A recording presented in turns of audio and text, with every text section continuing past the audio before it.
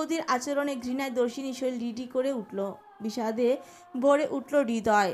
বৌদি না হয় বলেছে, কারণ সে পরের মেয়ে, কিন্তু মা এর মানুষ। মা কীভাবে পারল এটা বলতে? আপনারা ছোট্ট একটা বাচ্চার কথা এত কিছু বলছেন। অথচ যে মানুষটা বিশ্লেষণ করতে চাইছে, তার কথাটাও শোনার চেষ্টা করছেন, অদ্ভুত। কীভাবে পারল এটা বলতে। মৃত্যুঞ্জয়ের কথায় দর্শিনীর চোখে জল, আহ্লাদ পেল যেন। দর্শিনী তাচ্ছিল্য হেসে মৃত্যুঞ্জয়ের দিকে তাকিয়ে বলল, বুঝলেন, মেয়ে হলো সংসারের সবচেয়ে বড় বোঝা। আর সেই মেয়ে যদি হয় সংসার ভাঙা, তাহলে তো কথাই নেই। নিজের মাই যেখানে জ্বালা জ্বালা ভাবে, সেখানে অন্য কারোর কথা বাদই দেন। বাবা মেয়ের কথা সরলার অন্তরাত্মা কাঁপলো, নেতিয়ে গেল তার উত্তপ্ত রাগ। প্রতাপ সাহা এগিয়ে আসলেন। মেয়ের মাথায় আদুরে স্পর্শ করলেন, মাথায় স্নেহের হাত বুলিয়ে বললেন, কষ্ট নিও না মনে মা, এ বাড়ি তোমার। এখানে কারও সাধ্য নেই তোমাকে পর করার। তোমার যেখানে ইচ্ছা তুমি যাবে। তোমার কাউকে জবাবদিহিতা করার দরকার নেই। আমি বিশ্বাস করি তোমায়। আর কেউ কি ভাবলো না ভাবলো, সেটা তোমায় দেখতে হবে না। প্রিয়দর্শিনী জড়িয়ে ধরল বাবাকে। চোখের কোণ ঘেঁষে গড়িয়ে পড়ল অশ্রুকণা। কণ্ঠ খানিকটা কেঁপে উঠল। অপরাধী কণ্ঠে সে বলে উঠল আমি দৃষ্টান্ত দায়ের সাথে দেখা করতে গিয়েছিলাম। তুমি তো জানো দাদার সাথে ছোটবেলা থেকেই আমার কত ভালো সম্পর্ক। আমার মনে কোনো পাপ নেই বাবা। দৃষ্টের বলা কথাটা এবার পরিষ্কার হলো সবার কাছে। নিপার এতক্ষণের ঝলমলে মুখখানা চুপসে গেল। মৃত্যুঞ্জয় অবাক কণ্ঠে পড়ল দৃষ্টান্তের কাছে গিয়েছিলেন? এটা প্রথমেই বলে দিতেন আপনার মা বৌদি তাহলে আর খারাপ কিছু ভাবার সুযোগই পেত না? ভাগ্যিস তখন বলিনি না হয় নিজের লোকেদের মনের খবর জানতে পারতাম। দর্শিনীর কণ্ঠে তার ছিল ভাব নিধি এবার রেগে এগিয়ে এলো নিজের ছেলের কান টেনে ধরে শাসনের স্বরে পড়ল এই ছেলের কথাই নিপা তুই নাচছিস? জানিস না ও অর্ধেক কথা বলে আর অর্ধেক কথা পেটে রাখে? আর মা আপনিও? নিজের মেয়ের উপর এইটুকুন ভরসা রাখুন। আমার যখন বিয়ে হলো তখন প্রিয় ছিল বারো তেরো বছরের ছোট্ট পাখি। তাকে নিজের হাতে বড় করলাম। এখন যদি কেউ আমার গলা কেটেও প্রিয়র নামে কিছু বলে, তবুও আমি বিশ্বাস করব না। কারণ আমার নিজের লালন পালনের উপর ভরসা আছে। আর আপনি তো ওর মা। কীভাবে বারবার নিপার কথাই ওকে অবিশ্বাস করেন? বলেই হারিয়ে যায়। পারেনও বটে। মেয়ে তো আজকেই এসেছে। এই অবধি দুইটা চর খেয়ে ফেলেছে। শ্বশুরবাড়ি ছেড়ে একটু বাবার বাড়িতে আসে ভালোভাবে বাঁচার জন্য। আর সেই বাড়ি এসে কিনা ওর কাল হয়ে দাঁড়িয়েছে? মা না বুঝলে কে বুঝবে? নিপা এবার আমতা আমতা করা শুরু করল আমতা আমতা করেই বলল ধৃষ্ট যেভাবে বলেছিল সে কেউ তো খারাপ ভাববে বর্দি। তাই আমিও ভেবেছি। থাক তুই আর কথাই বলিস না। ছোটজা তোরও তো বিয়ে হয়েছে সাত আট বছর হলো। এত বছর যাবৎ প্রিয়কে দেখছিস এখনও চিনতে পারলি না। খালি উস্কানি দেওয়ার তালে থাকিস। নিধির কথায় চুপ হলো নিপা। সরলাও আর কিছু বলল না। নিধি এবার ধীর পায়ে দর্শিনীর সামনে গিয়ে দাঁড়াল। আদুরে কণ্ঠে বলল অনেক হয়েছে কান্নাকাটি এবার ঘরে চল। তোর জন্য যে হাত পুড়িয়ে রান্না করলাম সেটা খেয়ে দেখলি না? খালি টোটো করে ঘুরে বেড়াস। এখন মাছের মাথাটা তোর আশায় বসে আছে জানিস? চল খেতে। আবার খেয়ে ঘুম দিবি। তোর জন্যই তো তোর বড় বৌদি যথেষ্ট। আমার মেয়ে আমার কাছেই থাকবে। আর কেউ কিছু বলুক একদম শুনবি না। দর্শিনী জড়িয়ে ধরলো তার বৌদিকে। বড় বৌদি যত্নের হাত বুলিয়ে দিল সারা অঙ্গে। মৃত্যুঞ্জয় অপলক চেয়ে রইল দর্শিনীর দিকে।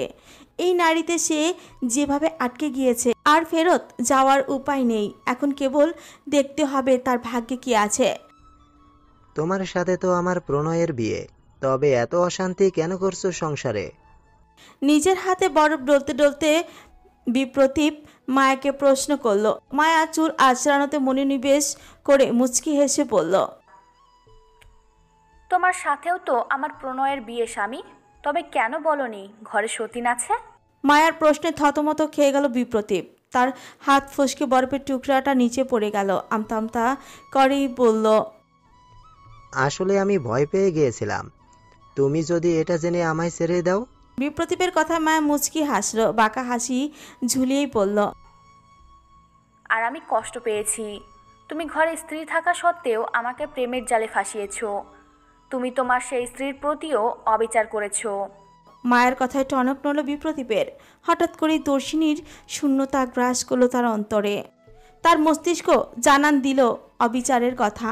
সত্যিই তো সে তো ঠকিয়েছে দর্শিনীকে মায়ার রূপে মুগ্ধ হয়ে সে তো অন্যায় করেছিল। মায়া বিপ্রদীপকে চুপ থাকতে দেখে বাঁকা হাসলো। বিপ্রদীপের সামনে এগিয়ে এসে ফিস ফিসিয়ে পড়ল তুমি আর তোমার মা যে অন্যায় করেছ তার ক্ষমা নেই স্বামী। খাবার খাওয়ার সময় কেউ এমন করে? কি রে বাবা? এমন কাজ কেউ করে? তোমার কান্না কিসের এত?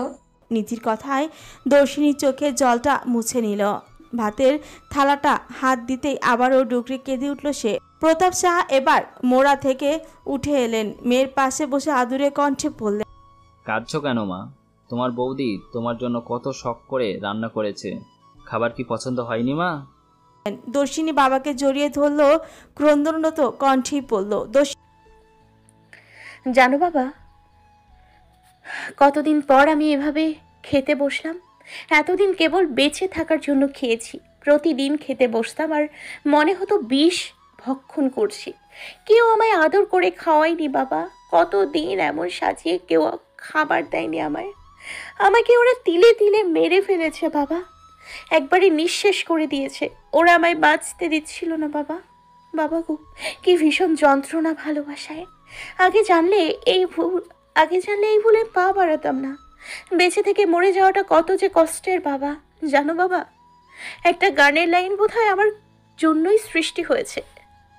এরা সুখের লাগি চাহে প্রেম প্রেম মেলে না। শুধু সুখ চলে যায়। আমার জীবনে এই লাইনটা প্রতি অক্ষরে অক্ষরে সত্যি। মা আমায় এখন চট থাপ্পড় দিলেও আমার খারাপ লাগে না। এই মা আমায় কত নিষেধ করেছিল, সে ঘরে পাঠাবে না। সে ঘরে পাঠাবে না। জোর করেই নিজের কপাল পুড়িয়েছিলাম গো, বাবা। কি ভীষণ যন্ত্রণা। ভালোবাসার মানুষগুলো এমন বিশ্বাসঘাতকতা কেন করে, বাবা? তারা জানে না তাদের বিশ্বাসঘাতকতা মেরে দেয় কাউকে, বাবা গো। মানুষ এত পাষাণ কেমনে হয়? কণ্ঠে নীরব অভিযোগ শুনে কেঁদে উঠল বাবার প্রাণ। নিধি ছুটে এসে জড়িয়ে ধরল ননদকে, মুছিয়ে দেয় অশ্রুকণা, ধমকে বলে ওঠে, একটা চট দিব। খাবারের সময় এত কথা কেন বলিস? চুপ করে খা। তুই বাঁচবি ভালোভাবেই বাঁচবি। তোকে ওই নরকে আর পাঠাবো না আমরা। প্রিয়দর্শিনীর কান্না বন্ধ হয় না। কতদিন পর অভিযোগ করার সুযোগ পেল সে? এতদিন তো মরার মতন বেঁচে ছিল। এটাকে কি আর বেঁচে থাকা বলে? তাদের কথোপকথনের মাঝেই মাংসের বাটিটা নিয়ে ঘরে হাজির হয় নিপা। দর্শিনীর থালায় কয়েক টুকরা মাংস দিয়ে গাদো গাদো কণ্ঠে পড়ল তুমি কেঁদো না? ভালো মতন খাও। ওই ঘর জাতের ছিল না তাই কষ্ট পেয়েছ। এবার আমারা দেখে শুনে তোমার বিয়ে দেব। গ্রীষ্মের উত্তাপ রাত। বিষ্ণুতার দীর্ঘশ্বাস পরিবেশে বিরাজিত। প্রিয়দর্শিনীর আজ অশ্রু ভেজা রাত। কতগুলো বছর পর বিছানায় সে একা। দীর্ঘদিনের পরিচিত প্রিয় মানুষটা পাশে নেই। অবশ্য এতদিন এক বিছানাতে থেকেও মানুষটার সাথে দূরত্ব ছিল তার আকাশ পরিমাণ। আর আজ বিছানাও আলাদা। মানুষটা হয়তো নতুন মত্তে আর সে পুরনোতেই নিবদ্ধ। শুভ্র রাঙা বালিশের কাবারখানা জায়গায় জায়গায় ভিজে আছে। দীর্ঘক্ষণের অশ্রুকণা বিসর্জনের প্রমাণ হিসেবে জল জল করছে দাগগুলো। দর্শিনী হঠাৎ করে ছোট্ট বৌদির বলা কথাখানা মনে পড়ল, বাবার বাড়িতে এসেছে সে। দিন একও অতিবাহিত হয়নি। এখনই ছোট বৌদি বিয়ের কথা তুলে ফেলেছে। বাকি দিন তো পড়েই রইল। বাবার বাড়িতে যে এতটা কঠিন হবে টিকে থাকা তা ঘুণাক্ষরও টের পানি দর্শিনী। এতদিন শ্বশুর বাড়ি মনে হয়েছিল নরক, কিন্তু এখন দেখছি বাবার বাড়ি তো এর চেয়েও ভয়ঙ্কর। বিয়ের পর মেয়েরা এতটাই পর হয়? স্বর্গের মতন বাবার বাড়ি নরকে রূপান্তরিত হয়ে যায়?